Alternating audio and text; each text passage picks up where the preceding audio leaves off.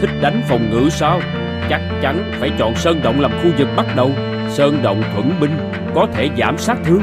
Đánh với Hà Bắc thương binh Phải chọn cung binh Giang Đông. Như thế sẽ khắc chế được. Đừng lo tụi nó phá. Khi đang phát triển tài chính, Có thể an tâm mở rộng. Điều chỉnh quân đội. Nếu tụi nó cường công, Chúng ta có khu vực hiểm trở Sơn Cốc Cứ đặt tiễn tháp phòng ngự chủ lực thuận binh làm phòng ngự tiêu hao sĩ khí đối thủ, phản kích nhanh. Thắng lợi sẽ đến với ta. Chiến trường như thật, phòng thủ là tấn công tốt nhất. Tam quốc chí 2020 tam quốc chân thật nhất.